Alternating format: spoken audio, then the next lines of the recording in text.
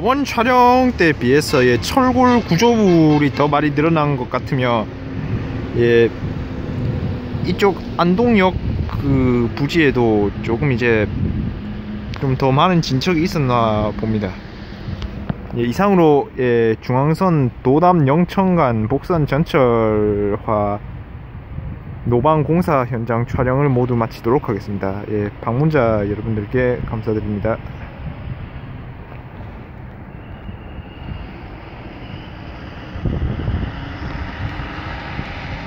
Thank you.